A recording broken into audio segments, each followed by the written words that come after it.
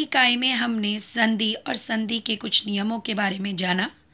संधि का पहला भेद है स्वर संधि, जो स्वरों से संबंधित है। उसमें सबसे पहला उपभेद है स्वर संधि का दीर्घ संधि।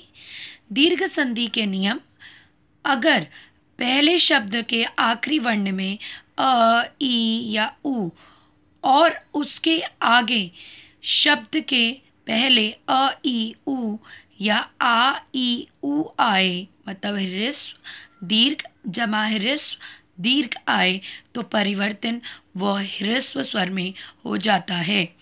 आ, ई और उ, उदाहरण के लिए मत जमा अनुसार, मत में पहले शब्द में, आखिरी वर्ण में त में अ है, जमा अनुस्वार में इस शब्द के पहले वर्ण में अ तो अ जमा अ आ बन गया, जिसकी वजह से बना मता अनुस्वार।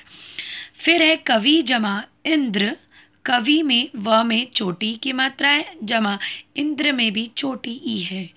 तो छोटी ई छोटी ई बड़ी ई बन गई, जिसकी वजह से शब्द बना कविंद्र। तीसरा उदाहरण है भू जमा ऊर्जा, जिसका उदाहरण है भू में बड़ा ऊ, ऊर्जा में भी बड़ा ऊ बड़ाऊ बड़ाऊ दीर्घ उ बन जाता है जिसकी वजह से शब्द बना ऊर्जा।